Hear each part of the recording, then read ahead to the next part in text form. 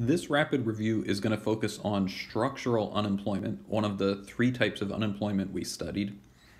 But before we can really focus on structural unemployment, I want to talk about our classical model of the labor market. Because the best way to grasp how structural unemployment works is really to contrast it with the classical model we studied earlier in the semester. So, as a reminder, our classical model featured uh, supply and demand for labor. The supply here is denoted by L bar. There's a fixed number of people who want to work uh, and have a job. You might think that's kind of ridiculous. If the wage was really, really, really low, like say one penny, then maybe no one would want to work because that's really not getting paid very much. But whatever, we're going to simplify a bit and say there's a there's a fixed supply of labor. And then there's demand for labor, which depends on the productivity, what the what the workers can do for the firms. Um, and if the, they can add a lot of extra output, they would have a high marginal product of labor. They would do a lot for the firm. So the firm would like to hire a lot of people. If the marginal product is low, on the other hand, they wouldn't like to hire a lot of people. And that led us to this conclusion that the um, marginal product of labor here is basically the demand for labor. So we've labeled our supply and demand. And then the way the model works is you're familiar with supply and demand. There's some equilibrium where the two intersect, and that's where the wage balances the quantity supplied and quantity demanded to equal each other, and we get some overall real wage noted W over P. We also worked with this algebraically. Um, so over on the right, we have as, as a specific example, we have this Cobb-Douglas production function k to the 1 half times L to the 1 half, we're told that L is 100 and K is 16. So L of being 100 is telling us that the supply of labor is 100. It's fixed at 100. So we could label that here on our diagram. This is 100 people who want to work. The demand for labor is going to be based on the marginal product of labor.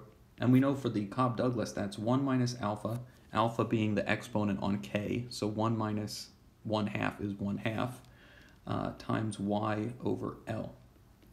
And y here is k to the 1 half, so that's the square root of 16 is 4, times l to the 1 half, that's the square root of 100 is 10. So that's 40, so 1 half times 40 over L. So our MPL is 20 over L.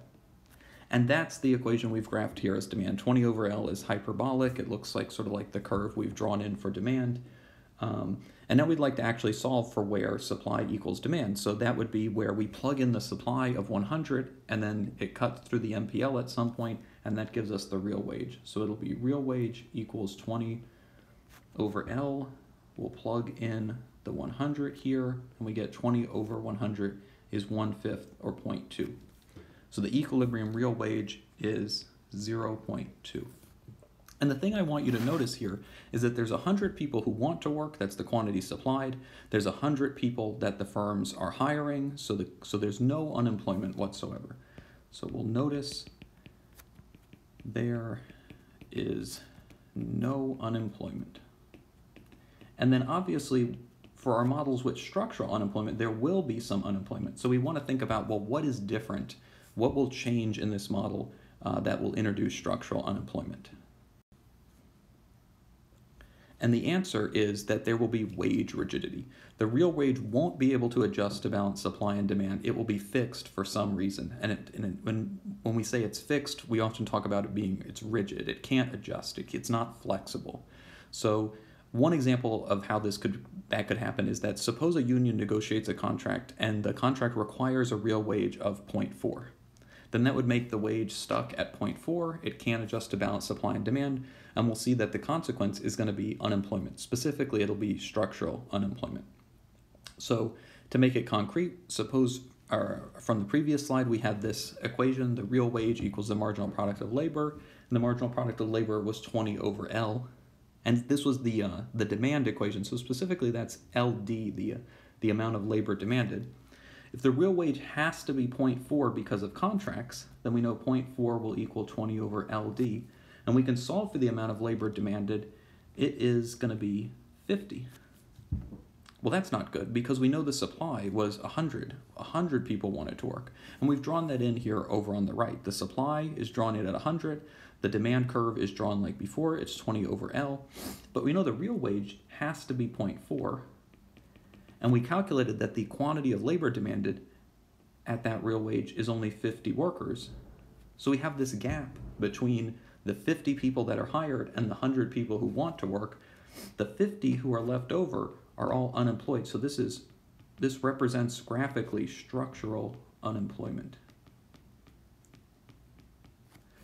So we can see how if for whatever reason the, the real wage can't adjust to balance supply and demand, there will be some amount of unemployment. There will be more people who want to work than jobs available for them to work in.